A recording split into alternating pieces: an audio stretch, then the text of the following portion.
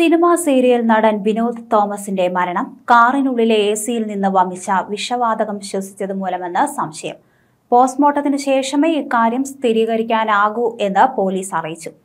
പാമ്പാടിയിലെ ബാറിന് സമീപം നിർത്തിയിട്ടിരുന്ന കാറിൽ വൈകുന്നേരം അഞ്ച് മുപ്പതോടെയാണ് അബോധാവസ്ഥയിൽ വിനോദിനെ ഹോട്ടൽ ജീവനക്കാർ കണ്ടത്.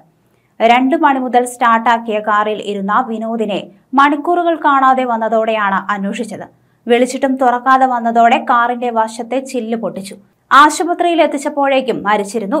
പാമ്പാടി ഡ്രീംലാൻഡ് ബാറിന് സമീപത്ത് പാർക്ക് ചെയ്ത കാറിനുള്ളിലാണ് വിനോദിനെ മരിച്ച നിലയിൽ കണ്ടെത്തിയത്.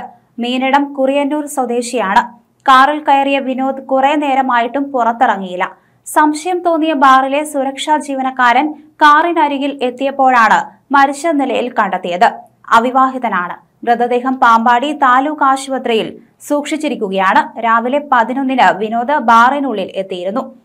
പാമ്പാടി എസ് എച്ച് ഒ സുവർണകുമാറിന്റെ നേതൃത്വത്തിലുള്ള പോലീസ് സംഘം സ്ഥലത്തെത്തി തുടർ നടപടി സ്വീകരിച്ചു. അയ്യപ്പനും കോശിയും കുട്ടൻപിള്ളയുടെ ശിവരാത്രി ഭൂതകാലം വാശി നത്തോലി ഒരു ചെറിയ മീനല്ല ഒരു മുറൈ വന്ന് പാർത്തായ ഹാപ്പി വെഡിംഗ് ജൂൺ. അയാൾ ശശി തുടങ്ങി നിരവധി ചിത്രങ്ങളിലും നിരവധി സീരിയലുകളിലും അഭിനയിച്ചിട്ടുണ്ട്. കഴിഞ്ഞ വർഷം ജൂലൈയിൽ കോട്ടയം മെഡിക്കൽ കോളേജ് ഫോറൻസിക് വിഭാഗത്തിന് മുമ്പിൽ കാറിലെ എ സി പ്രവർത്തിപ്പിച്ച് കിടന്നുറങ്ങിയ ഇടുക്കി സ്വദേശിയെ മരിച്ച നിലയിൽ കണ്ടെത്തിയിരുന്നു. ഈ സംഭവത്തിൽ വില്ലനായത് കാറിലെ എ സിയിൽ നിന്നും വന്ന വിഷവാതകമാണെന്ന് സംശയിച്ചിരുന്നു. ഇടുക്കി കീരിത്തോട് അഞ്ചുകുടി ചാലിൽ പി എസ് അഖിലിനെയാണ് അന്ന് മരിച്ച നിലയിൽ കണ്ടെത്തിയത്. അച്ഛന്റെ ശസ്ത്രക്രിയയ്ക്കായാണ് അഖിൽ കോട്ടയം മെഡിക്കൽ കോളേജിലെത്തിയത്.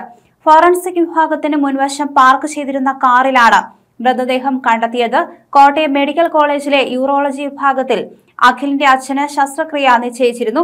ഇതിന്റെ ഭാഗമായാണ് അമ്മയും അഖിലും ആശുപത്രിയിലെത്തിയത്.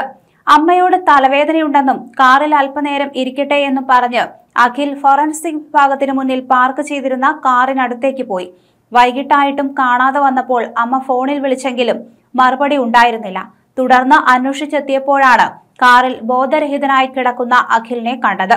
ഉടൻ തന്നെ സമീപത്തുള്ളവരുടെ സഹായത്തോടെ അത്യാഹിത വിഭാഗത്തിലേക്ക് മാറ്റിയെങ്കിലും മരണം സ്ഥിരീകരിച്ചു.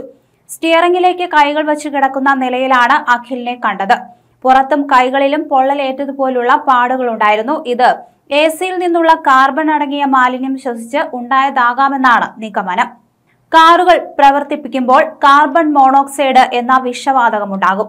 ഇത് എക്സ്ഹോസ്റ്റ് പൈപ്പിൽ ഘടിപ്പിച്ച കാറ്റലിറ്റ് കൺവേർട്ടർ എന്ന സംവിധാനം വെച്ച് കാർബൺ ഡയോക്സൈഡ് ആക്കി മാറ്റിയാണ് പുറത്തേക്ക് വിടുന്നത്. തുരുമ്പിച്ചോ മറ്റു കാരണങ്ങൾ കൊണ്ടോ ദ്രവിച്ചോ പുക പുറത്തേക്ക് വിടുന്ന പൈപ്പിൽ ദ്വാരങ്ങൾ വീണാൻ കാറ്റലിക് കൺവെർട്ടറിൽ എത്തുന്നതിനു മുമ്പേ കാർബൺ മോണോക്സൈഡ് പുറത്തേക്ക് വരാം. ഇത് കാറിലെ ബോഡിയിലുള്ള ദ്വാരങ്ങൾ വഴി ക്യാബിനുള്ളിലേക്ക് പ്രവേശിക്കും. ഓടിക്കൊണ്ടിരിക്കുന്ന വാഹനത്തിൽ എ സി പ്രവർത്തിക്കുമ്പോൾ ഇത്തരം തകരാറുണ്ടെങ്കിലും ഉള്ളിലുള്ളവരെ കാര്യമായി ബാധിക്കില്ല. കാരണം വാഹനത്തിലേക്ക് ശക്തമായ വായുപ്രവാഹം ഉള്ളതിനാൽ കാർബൺ മോണോക്സൈഡിന്റെ ശക്തി വളരെ കുറയുകയും ചെയ്യും.